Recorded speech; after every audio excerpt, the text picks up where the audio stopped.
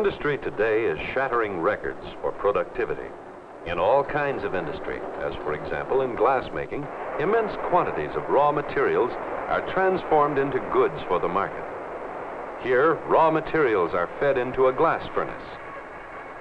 Processing these materials requires specially designed equipment and mass production techniques.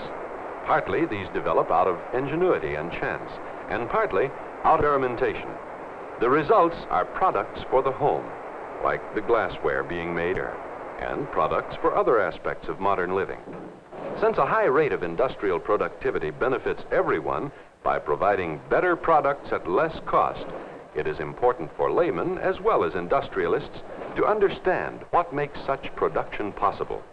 Basic to this understanding is a knowledge of industrial organization. Each company is directed by a team of experts the leaders of different specialized departments. Each department has a particular contribution to make to the work of the company it represents. For example, the production department relies upon men and machines to turn out finished products for the sales department to sell.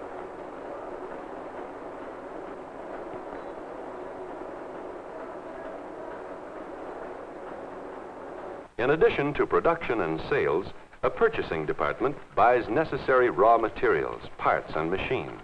And a financial department accounts for and finances all purchases. It also takes an engineering department to design and test equipment intended to increase the daily output of each worker and decrease drudgery. But newest of all the departments to gain a position of eminence in industry is research. Research is responsible for getting reliable answers to problems that affect the technology underlying production.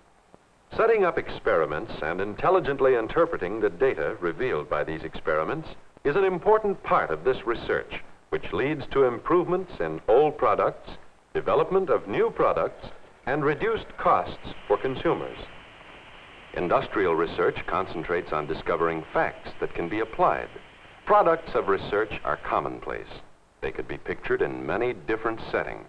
But because of the universal use of glass products, the glass industry is selected as background for this story of progress. Glass in its many different forms provides one of the most versatile substances ever devised by man. In the home, it takes such different forms as windows, draperies, decorations, and tableware. One of the common forms is molded glass. Molding processes are used to make bottles and hundreds of varieties of glass containers to package goods for the market. Flat glass, window panes, and plate glass are forms known to everyone. Glass is made into corrugated panels, covers to protect delicate instruments, blocks for construction, acoustic tiles to deaden sound, picture tubes for television sets. Glass can be made into panels containing electrical resistance wires that radiate heat. Whatever the kind of glass, each is adapted to some special use. Some kinds are chiefly useful in the home. Others serve industry or the professions. The properties of each kind depend upon its ingredients. Glass through the ages and until 1880 usually consisted of sand, soda ash, and limestone. Mixtures that go into modern glass contain additional substances. Each is added to produce some special quality not attained by glass craftsmen of the past. Besides changes in mixtures, improvements have been made in the machines for making glass. Ingenuity and luck have helped develop some of the modern techniques and machines, but today it takes more than ingenuity and luck to satisfy man's increasing desires. For example, here's a tumbler. It looks perfect, but let's test it. One successful test that has been devised employs polarized light. Look for strains in the glass. They show up as dark areas. Undesirable strains could lead to early breakage. But when the tumblers are annealed by slow cooling, these strains disappear. This superior product is the result of experimental work. All systematic investigations of glass are relatively recent. Otto Schott, a German chemist, is often considered the first man ever to initiate a systematic program of research in glass. Schott's experiments were planned to improve the mixtures used to make lenses. About 1880, he began his work. He added different oxides to the customary formulas of sand, soda ash, potash, and lime. His work led to improved kinds of glass. Some of his glasses, together with others developed by his successors, make possible the high degree of perfection in modern optical equipment used to provide sharp visual images. During Schott's long life and through the intervening years, research has repeatedly demonstrated its importance. All of the fundamentally new uses for glass, as well as many of the improvements in the old, have resulted from research. Today, specialists in research continue to study the effects of new materials and procedures. Here is one such specialist. Like most of the younger technologists, he has a degree in science. His knowledge of glass developed in college. Like other students, he included field trips in his training. A special interest led him to make most of his trips to glass factories, such as a flat glass plant. This is where window glass is made.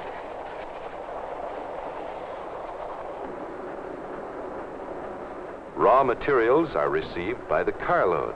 The sand, soda ash, lime, and other raw materials are measured into batches to be melted. Huge containers transport the mixtures to the furnaces. Periodically, a batch of raw materials is added to the other tons already being melted. A large furnace like this may hold several hundred tons at one time.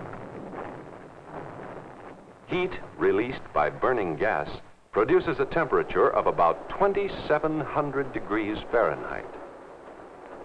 The heat transforms the mixture from its solid form into a molten sticky mass. The molten glass moves from the furnace as a continuous ribbon. Knurled rolls maintain the proper thickness of this ribbon-like sheet. After passing through a cooling tunnel, the sheet is cut into sections. These sections, to be used in windows, are clearer and better than ever before. It's difficult to imagine how life would be without this product. Almost everyone has need for window glass.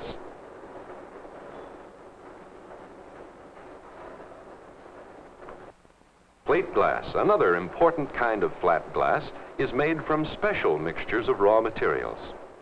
The materials are melted in a massive crucible. Once the melting temperature is reached, the batch is ready for pouring. The molten glass passes through rollers and forms a plate. Unfinished plates are sometimes called blanks.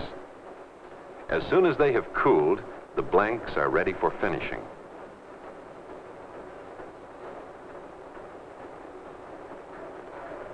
To simplify lifting and handling the large heavy plates, glassmakers use equipment fitted with specially designed suction cups.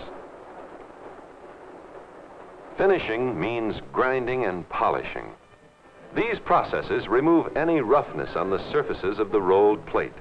After the final polishing, the surfaces are so flat that each is almost a perfect plane. These plates are thicker than ordinary window glass and permit vision with very little distortion.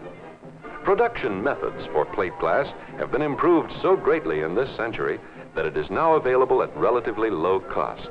Much plate glass is used to make automobile windows. Containers such as bottles are another type of product in use for centuries.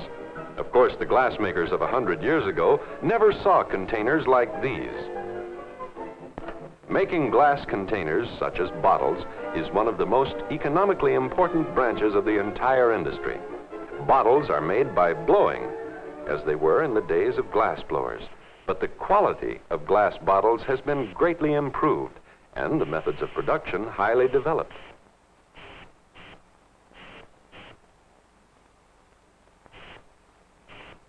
Today, containers are not only better than ever before, but they are produced at rates that would astound glassmakers of even half a century ago.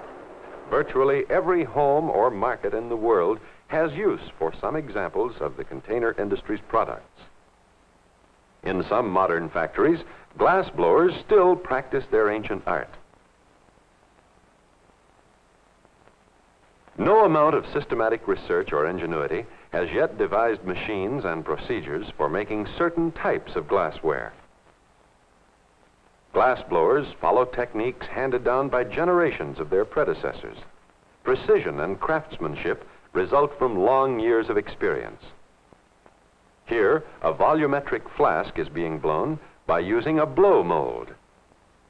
Glass blowers make equipment like this flask for the laboratories of science. But like any hand operation, their output is limited. Wherever possible, machine production replaces this colorful art. Much of the laboratory ware of today is made by modern high-speed mechanical means. Even tools like these are changed as experiments reveal ways of doing the work more efficiently. Marking products like graduated cylinders requires precision machinery. The manufacturers of laboratory ware continually search for improvements, such as glassware with greater resistance to shock new mixtures of raw materials, improved manufacturing procedures, and refinements in testing apparatus contribute to more perfect products. Most glass products have benefited from research, but some are direct results of research, such as glass blocks. Crude blocks of glass were made as far back as the days of early Rome, but such early counterparts could not compare with the quality of glass blocks today. Mass production of modern blocks is the outcome of a systematic research program begun in the early 1930s. The program was planned to perfect mixtures and develop procedures for high-speed, efficient production of blocks with unique properties. Glass blocks have opened up new uses for glass and helped make glass competitive with some of the other common construction materials. This competition favors the consumer because it offers him a greater variety of materials to select from and leads to lowered prices. It's an example of more and better products for less money. An important contribution to a high standard of living.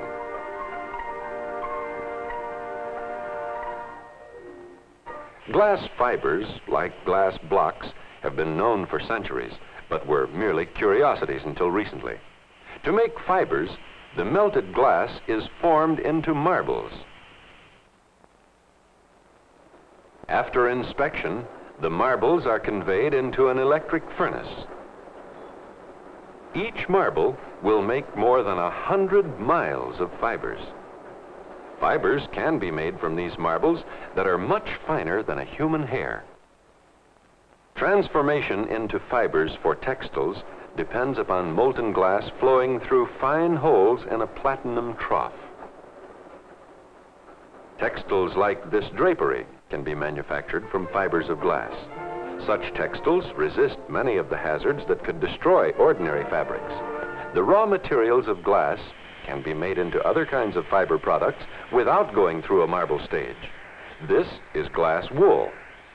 Fibers of glass wool have many valuable properties. These fibers will neither shrink nor stretch, and they will not burn, rot, or rust. The fibers can be sandwiched between layers of heavy paper to form blankets like these. Each blanket provides insulation that will block or reduce the transfer of heat. It can provide insulation for a building to help keep the interior cooler in summer and warmer in winter. To insulate buildings, the paper-covered blankets are tacked between wall or roof supports. Compressed more firmly and treated with a special binding material, glass fibers are made into a pre-formed kind of insulating board for such uses as roof and cold storage container insulation.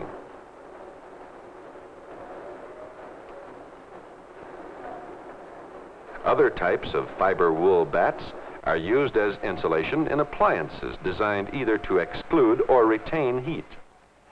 Treated in other ways, fibers of glass can be made into insulation that deadens sound from automobile or aircraft engines. Retainer mats and separators for storage batteries. Pre-formed coverings for pipes. And filters for air conditioning and forced warm air heating systems. And here is a special use. This is a bulletproof vest which contains for its armor plastic sheets reinforced with glass fibers. Vests like this have saved many fighting men from vital injury in combat. In these and other ways, research helps lead from the old to the new in glass by developing better products for modern living. The practical value of research in glass is demonstrated in many settings. For example, improved optical glass has meant improved spectacles, and improved spectacles mean greater enjoyment while reading, driving, or using our eyes in other ways. Optical glass makes possible the fine lenses of cameras. More perfect lenses for microscopes contribute to the development of virtually all the sciences. The microscope reveals objects too small to be seen by the eye alone, such as this reproductive action of a one-celled animal. Nearly all aspects of biology have profited by the use of optical glass. There is always the challenge of problems yet unsolved. For example, who will discover a cheap method of extracting aluminum from clay? An ordinary clay brick contains about a half a pound of aluminum, but no one knows how to extract it economically. Or who will learn to harness the power of the waves, extract more of the valuable elements in seawater, or use energy directly from the sun? Who will be first to conquer outer space? Who will be the next to convert some glass mixture into a new and unique product for the market? Progress in glass as in industry generally, becomes increasingly dependent upon research. The results of systematic experimentation may not often be as spectacular as in this production of electric lamp bulbs, but inevitably, research leads to more products at less cost to serve the needs of more people. Industry is learning to use research effectively and is thereby helping raise our standard of living. Today, men and women are working to solve many different problems. Their success will influence our future. The achievements being made in glass and in all other industries assure for industrial research a role of increasing importance in furthering industrial progress and the welfare of our society.